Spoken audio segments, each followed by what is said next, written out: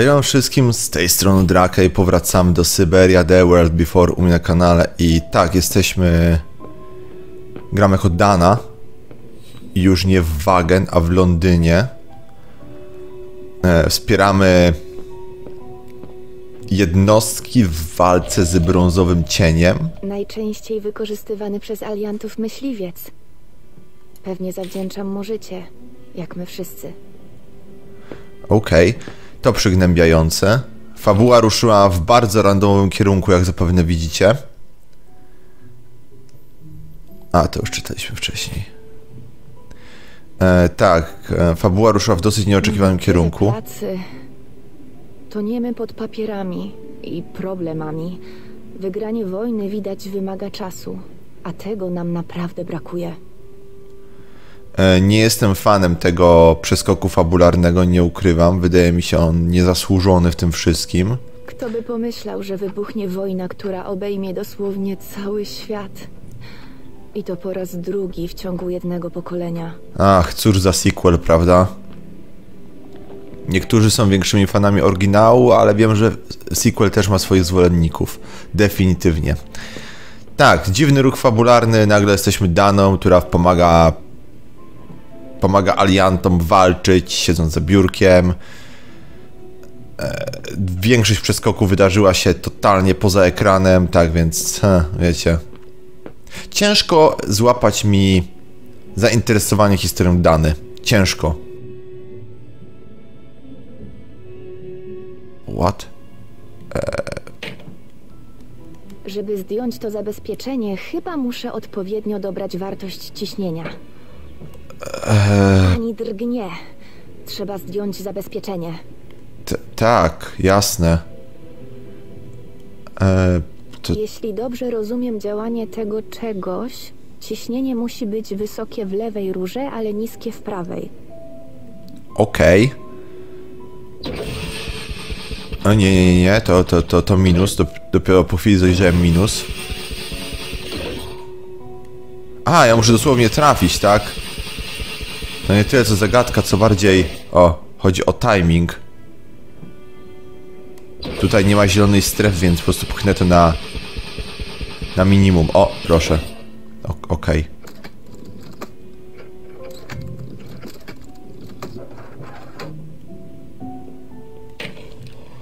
Wup. A, wszystko bardzo roz, rozbudowane. I działa.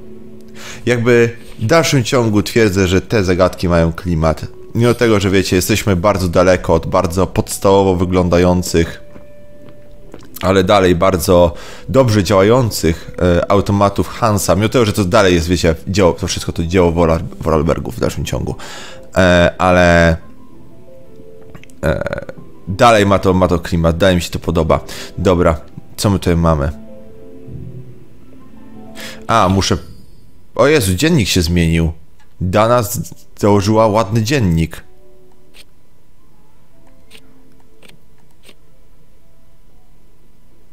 Spakować co? Zdobądź listę grup ruch oporu. Tego raczej nie wyklikam na ślepo. To jest ta lista, prawda? Ściśle tajne. Agentko Rose. Potrzebuję ochotników do delikatnej operacji we współpracy z Urem Oporu. E, Okupowanego miasta. Ostertan. Osterhal. Nie umiem mówić. Jeśli nie Pani komisję, zostanie Pani przeciążony wagon, zajmie się koordynacją cywila ze Szwajcarii, do Szwajcarii. W tym celu podejmie Pani współpracę z jedną z głównych ruch oporu. Okej. To nie mówi mi tak dużo, jakbym chciał. Junta powiedziała, że nie mogę wyjść, dopóki nie rozpoznam grupy ruchu oporu.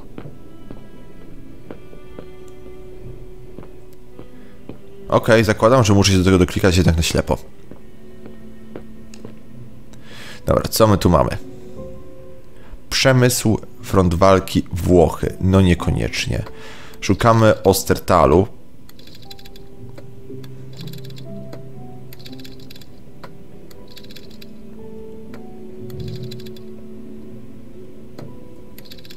Ach, te wszystkie prawdziwe lokacje i nagle Ostertal. Jasne. Temat front walki, drogi, szpiegostwo, zasoby, związki, grupy, szpitale, produkcja, chówce, waluta, propaganda, rolnictwo, fronty walki. Ok, dobra, dziedzina. Przemysł, infrastruktura, badania, ruch oporu, dobra, dobra, ruch oporu, tak. Czy ja mogę coś innego kliknąć? Aha, mogę tylko potwierdzić. To jaki ty... Front walki, rolnictwo... Front walki być może, propaganda niekoniecznie. No jeszcze raz wczytam się w ten list. Na pewno to będzie Ostertal, oczywiście. Zarząd Operacji Specjalnych, Ministerstwo Spraw Zagranicznych. Operacja. Transport? Bo chodzi o przetransportowanie VIP-a?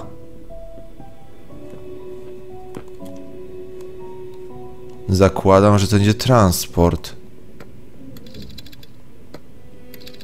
Chówce to śmieszne słowo, by the way. O mój Boże. Pamiętam, że było słowo transport. Nie było słowa transport. Fuck. Może to po prostu? Ruch oporu front walki Ostertal?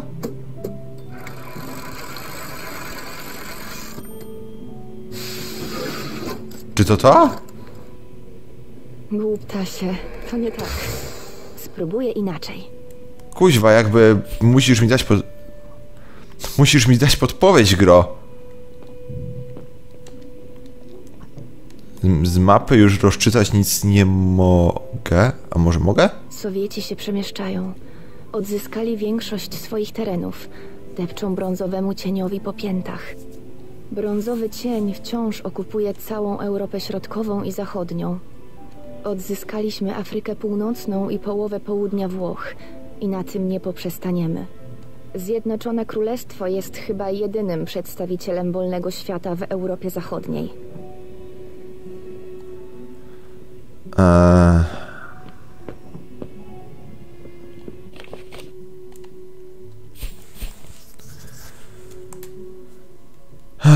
Koordynacja eksfiltracji pewnego cywila do Szwajcarii, w tym celu podejmowanie współpracy z nią głównych grup oporu działających w regionie. Ostatnio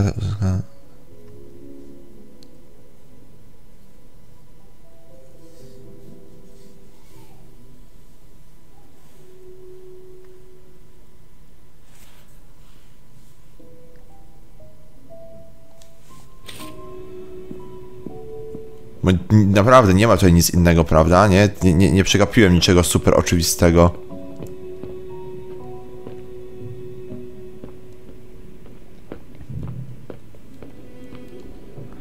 Wiecie, jestem na d- 90% pewien, że ruch oporu to pierwsze i Ostertal to ostatnie, ale co będzie tutaj? Drogi... Szpiegostwo? Może? Zasoby raczej nie, związki raczej nie. Grupy? Grupy ruch oporu Ostertal? Może tak?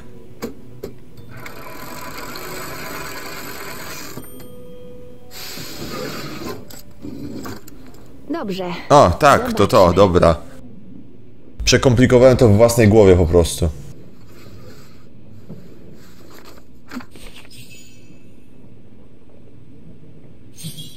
Dobra, i teraz generalnie mamy. Exit brzmi jak nawiązanie do czegoś. To brzmi jak na, e, nawiązanie. I generalnie tak. To jest, wiecie. Mamy. Mamy te, te, te, ten, ten rządek, i mamy przebiśniek, i mamy malarza z Alp. Mówiłem, że głupia ksywka wróci, prawda? Mówiłem, że głupia ksywka wróci. I jak, jak zobaczyłem tutaj Przebiśnieg. górskiego kochanka, czy jak on się tam nazywał, to po prostu parsknąłem. To na pewno przypadek. Pseudonim przywódcy grupy. No, chodź tutaj, mój śliczny przebiśniego. Wiesz, że nie lubię, jak mnie tak nazywasz. Tylko, że właśnie tym dla mnie jesteś, mój śliczny przebiśniego. Ponownie cringe'uję przy tym w chuj i ogólnie, ja nie wiem, może, może to jest, może jest w tym jakaś logika, może jest w tym jakiś symbolizm, ale jakby nazywasz swoją grupę ruchu oporu ludzi, którzy walczą, kuźwa, z reżimem od uroczej ksywki swojej dziewczyny,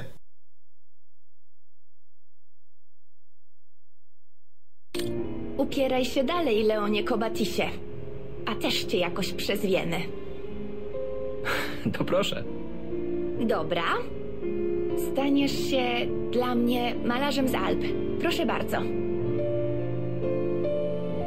Uf, na zbliżeniu to już nie wygląda tak dobrze.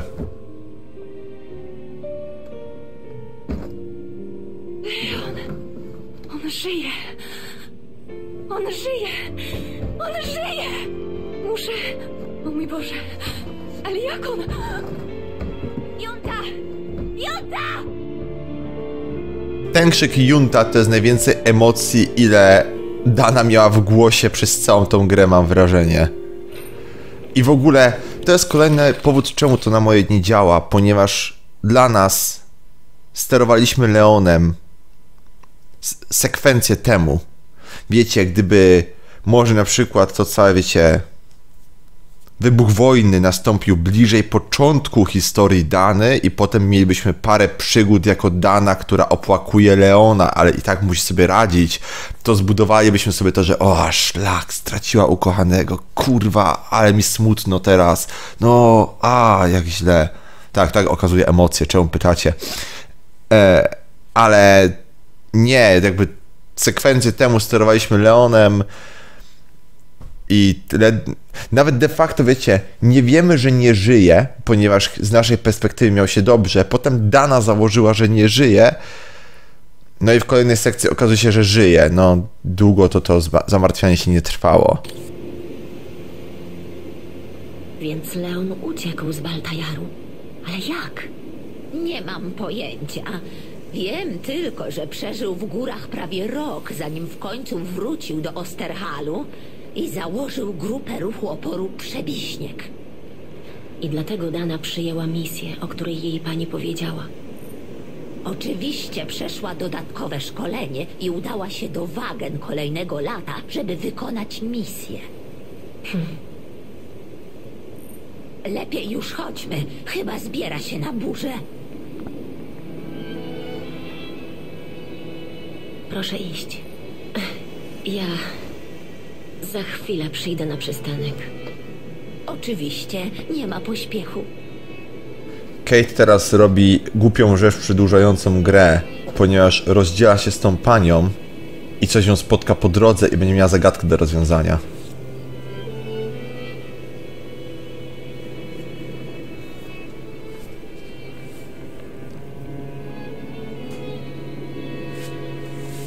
I jawnie nie zrobiliśmy tutaj nic. Musimy pamiętać, żeby zabrać Oscara ze sobą, tak by the way.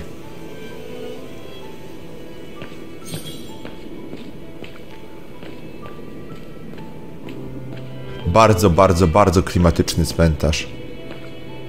Na taki cmentarz to mógłbym chodzić. Czemu wszystkie prawdziwe cmentarze, a przynajmniej tych, na których byłem, to przeważnie poletko z bardzo podobnymi nagrobkami, a te w grach są zawsze takie epickie i dojebane. W sensie, to be fair, może dojebany cmentarz to nie jest coś, czego każde miasto potrzebuje, ale wiecie, no patrzcie, jakie to ładne.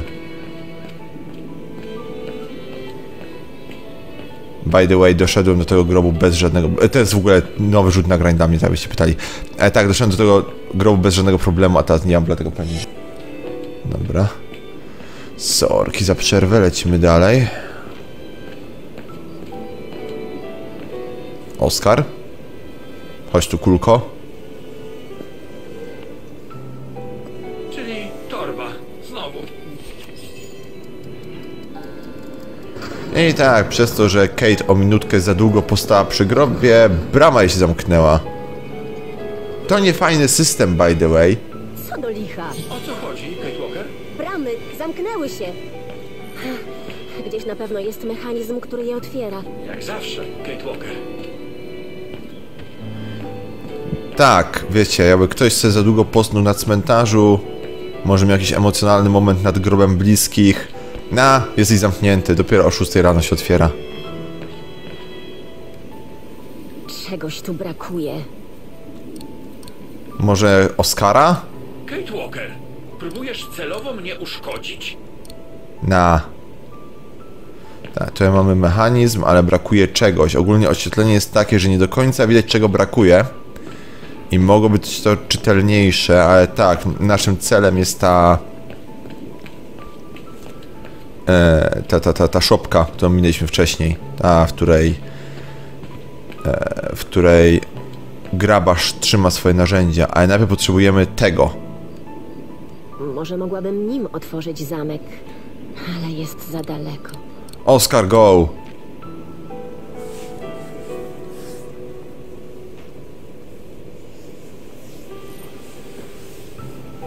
Możesz przynieść mi ten kilo w Oskarze? Oczywiście, Kate Walker. Żaden problem. Co dla Oscara, prawda?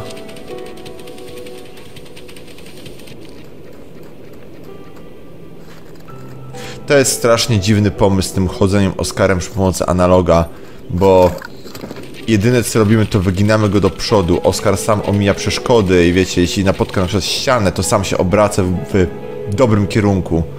Bardzo dziwne rozwiązanie, bardzo dziwne.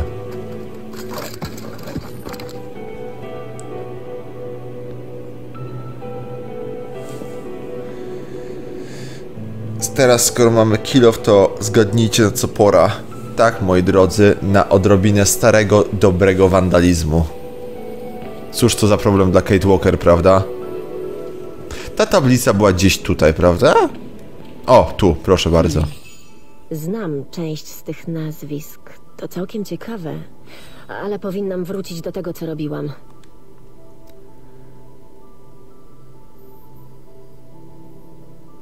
Aha, Zimmer, tak, mamy, mamy Zimmera. Resz, a, i Leni, proszę, Leni Renner. To chyba jedyne osoby stąd, które znamy.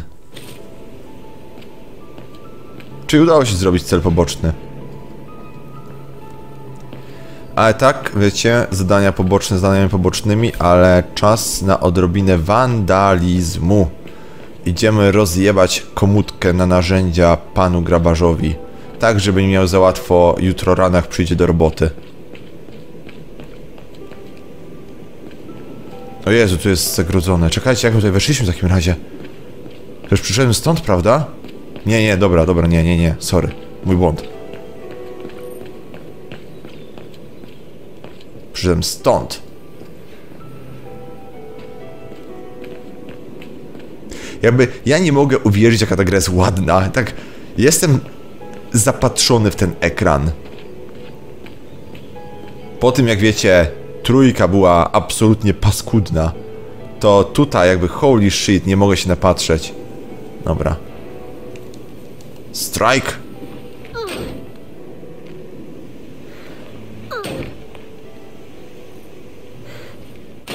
Oh yeah. No nic. Pamiętajcie, mogło być gorzej, mogło rozwalić całe drzwi, ale zdecydowała się tego na kłódkę. To się nazywa łaska, moi, moi drodzy. Łaska. A? I tu mamy cyk, korbkę. Zdaje się, że pasuje do większego mechanizmu. Dobra. I teraz możemy spadać z tego cmentarza.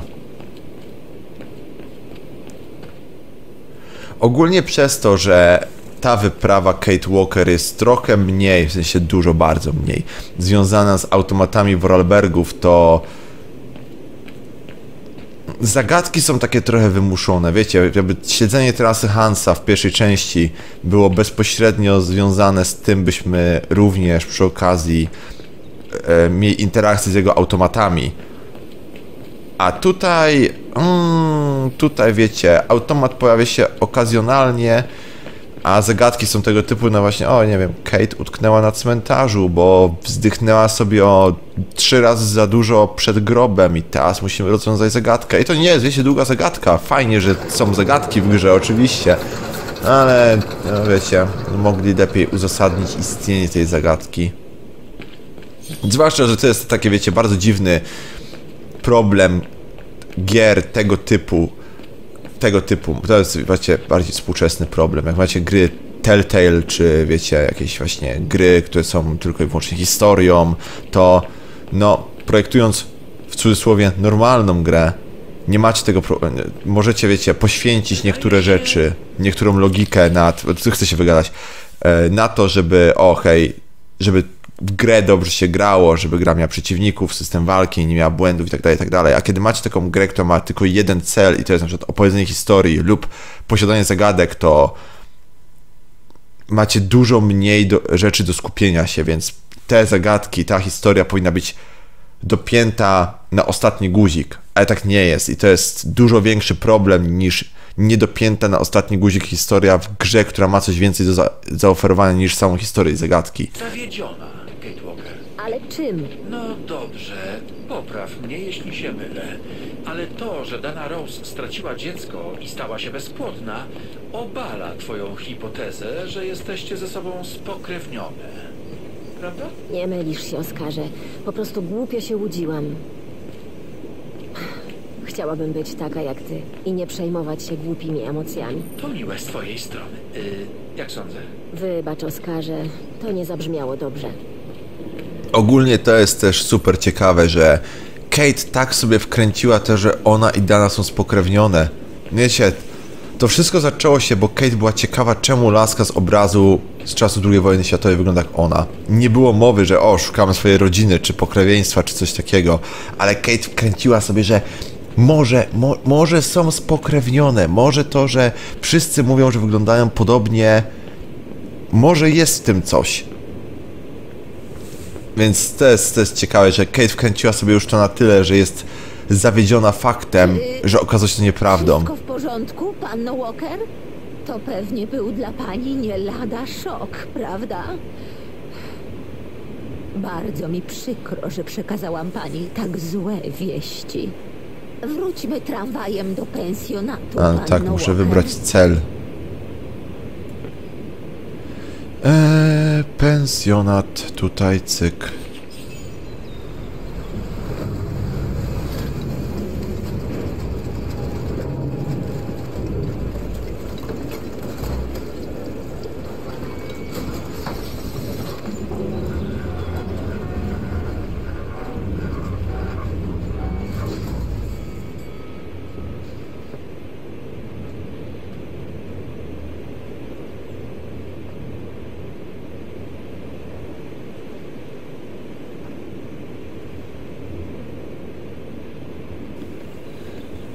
Animacja dobrze oddająca to, jak niezręczne jest wsiadanie do komunikacji miejskiej za starszą osobą.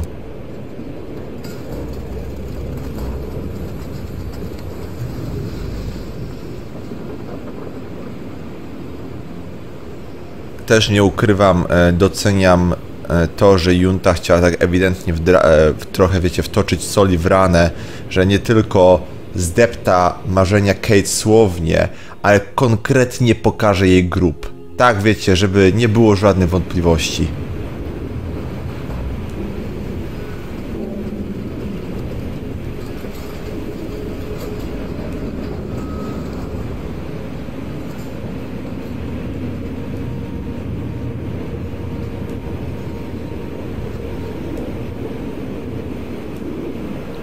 By the way, jesteśmy już bardzo blisko końca gry. Tak, ekstremalnie blisko. A i tak, rozpoczyna się burza, o której ostrzegali nas w, na mieście. dostała Dana z grupą ruchu oporu Leona. Nie skończyło się to najlepiej. Właściwie to dlatego przyjechałam tu z Londynu. O, tak. Chwileczkę, panno Walker. Gdzie ja to wsadziłam? Przez tę przeklętą burzę trąbią o tym w prasie. Proszę, niech pani zobaczy. Przerwano prace wydobywcze na przełęczy Diabła. Niespodziewana burza zmusiła Radę Miasta do wydobycia ciał uwięzionych w lodzie od czasów II wojny i zabrania ich do schroniska Silberspiegel. Do, do, dom. Zamarznięte ciała przy schronisku. Dowiedziałam się dopiero wczoraj. To znaczy, Nie było jeszcze oficjalnej identyfikacji, panno Walker. ale jest możliwe, że Że Leon znajduje się wśród tych ofiar. Tak.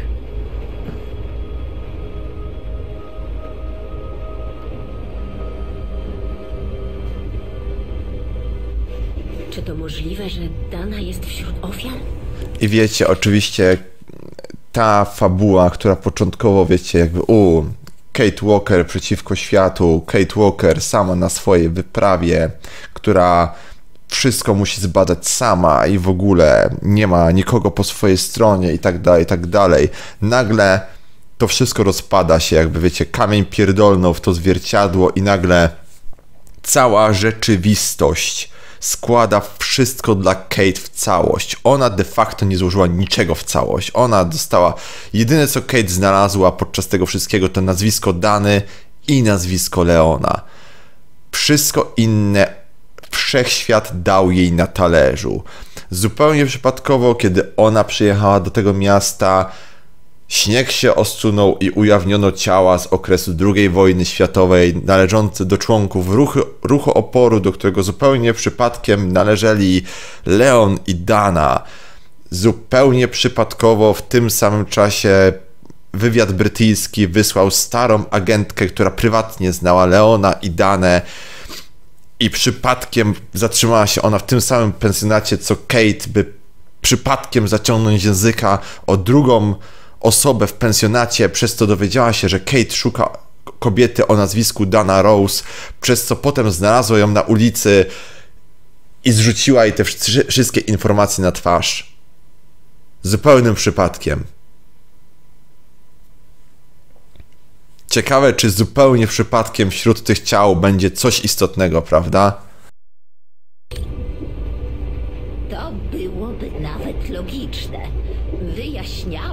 Dlaczego wszelki słuch o niej zaginął po tej misji. Jednak według niektórych świadków Dana przeżyła wojnę i pomagała bojownikom ruchu oporu z Wagen aż do wyzwolenia. Ale jeśli to wszystko prawda, to Dana zniknęła po wojnie. Co się stało z Leonem? Według zeznań, które zgromadziłam, Leon zginął w czasie misji, którą ministerstwo wyznaczyło Danie, najwyraźniej w lawinie. Jestem jedną z niewielu osób, które mogą go jeszcze rozpoznać i dlatego przyjechałam. Gdyby nie ta przeklęta burza, byłoby już dawno po sprawie. By the way, ta pani, od kiedy Kate przybyła do Wagen, najwidoczniej cała ta akcja dzieje się w ciągu trzech dni.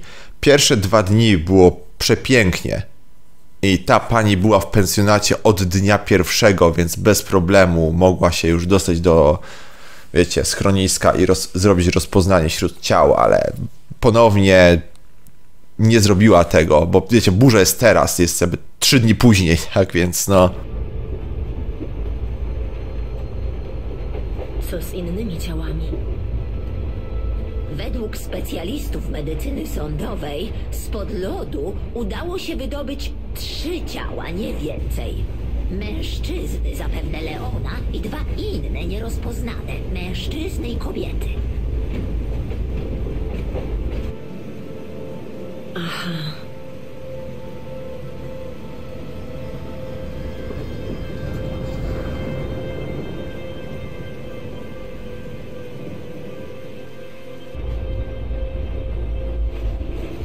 Proszę się nie załamywać, panno Walker.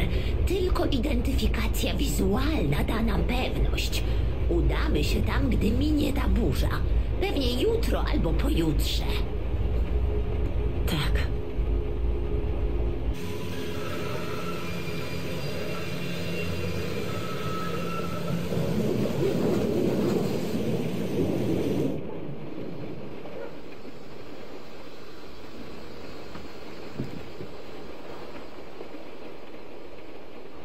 Panno Walker, jesteśmy. Ale pani nie idzie, prawda?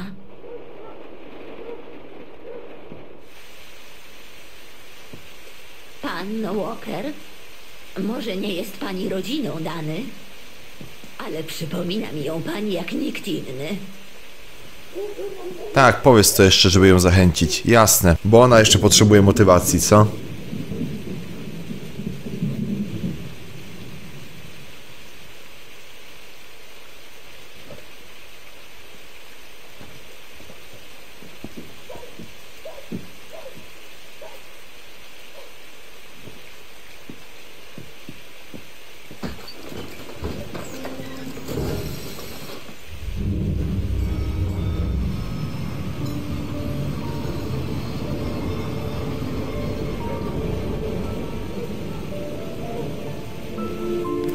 Ja tylko ponownie przypomnę.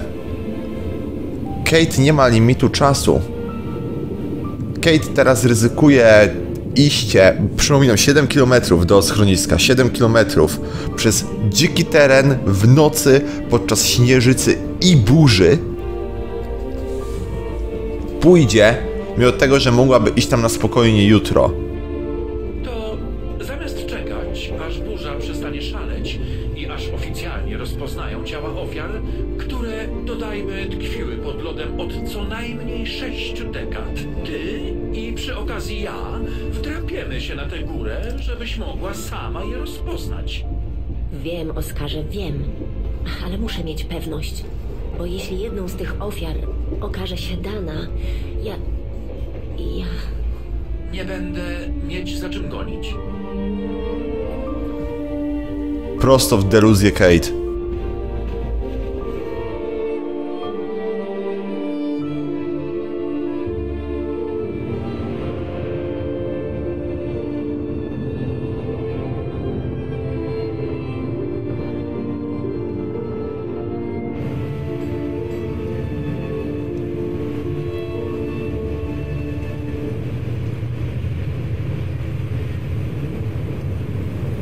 Dobra, i tak, teraz będziemy mieli chyba sekcję gameplayową już normalnie. I będziemy mogli sobie zakończyć. To jest w strasznie klimatyczne, jakby holy shit, jaki ten tramwaj w tej śnieżycy z tymi światłami robi mi klimat. Oh boy, oh boy, powiadam wam, oh boy. Odnoszę powoli wrażenie, że nigdy nie doczekam się do sekcji gameplayowej, żeby mógł zakończyć odcinek.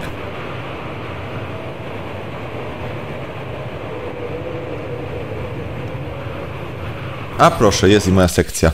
Dobra, więc tutaj kończymy. Tyle ode mnie. Jeśli Wam się podobało, zostawcie łapkę w górę pod tym filmem. Trzymajcie krótko, miłego dzioneczka i do usłyszenia w Syberiach The World Before.